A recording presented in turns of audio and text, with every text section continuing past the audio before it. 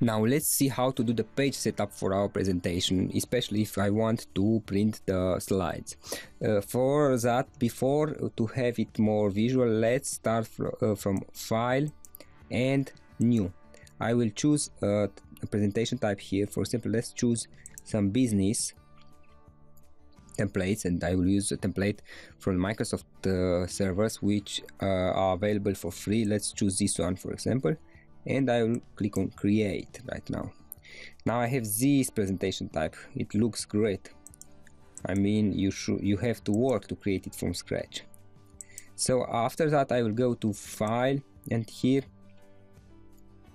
I have here I have the header and footer edit. Now I can edit things about the slide. I can include the date and the time maybe in uh, my um, presentation. I can include the slide number. I can uh, write something in the footer.